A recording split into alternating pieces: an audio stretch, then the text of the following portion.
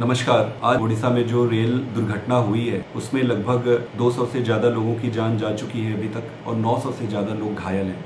इस दुख की घड़ी में मैं सभी संतप्त और दुखी परिवार के प्रति अपनी संवेदना व्यक्त करता हूँ। मन में कई बार प्रश्न आया कि आज दुख की घड़ी में इस मुद्दे को उठाऊं या ना उठाऊं। इतना महत्वपूर्ण मुद्दा है कि आज इस मुद्दे को उठाना पड़ेगा। भारत सरकार के एजेंडे में सेफ्टी और सिक्योरिटी कहीं है ही नहीं। मैं रेलवे कमेटी का मेंबर हूँ। पिछली कमेटी के मीटिंग में मैंने ये मुद्दा उठाया था। कि सरकार सबसे पहले सुरक्षा और सेफ्टी पर ध्यान दे। सरकार का पूरा ध्यान पीआर पर, दिखावे पर लगा हुआ है सेफ्टी और सिक्योरिटी पे नहीं लगा हुआ है। मैं तीन चार पैरामीटर आपके सामने रखना चाहता हूँ जो सेफ्टी और सुरक्षा से जुड़ा हुआ है। सबसे इंपॉर्टेंट चीज़ होता है anti collision devices anti collision devices बहुत ज़रूरी होती है दो ट्रेनों को कोलिजन से रोकने के लिए। हमारे देश में लगभग पैंसठ हज़ार किलोमीटर का रेल नेटवर्क है। उसमें इन्होंने सिर्फ़ 1400 किलोमीटर पे ये डिवाइस से इक्विप किया है, जो कि दो परसेंट से भी कम है। अगर नौ साल में मोदी जी की सरकार ने सिर्फ़ दो परसेंट ही कवर किया है तो इसका मतलब इसको पूरा कंप्लीट करने में उनको 400 से भी ज़्यादा साल लग जाएँगे।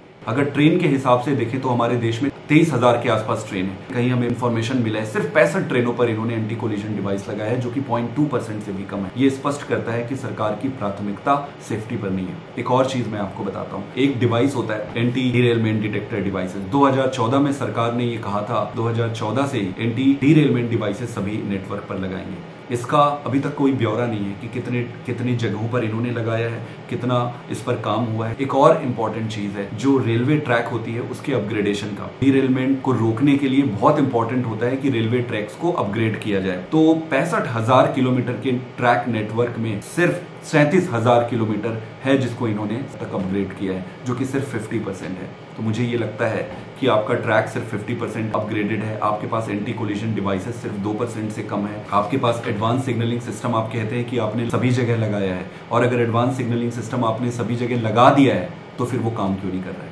प्रश्न तो उठता है। प्रश्न पूछना बनता है।